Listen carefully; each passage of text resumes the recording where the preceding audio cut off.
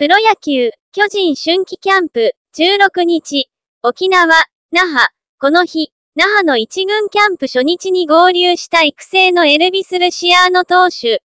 上旬の2軍キャンプでアピールに成功し昇格した右腕は、結果が重要になってくる。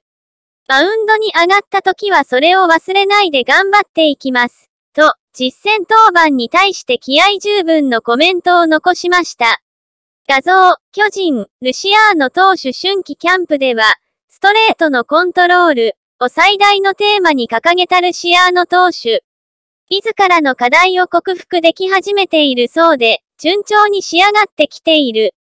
自信を持ってコントロールできる段階まで来ている、と回答。早ければ18日に予定されているサムスンライオンズ、韓国、との練習試合で、登板の機会が巡ってくる可能性があります。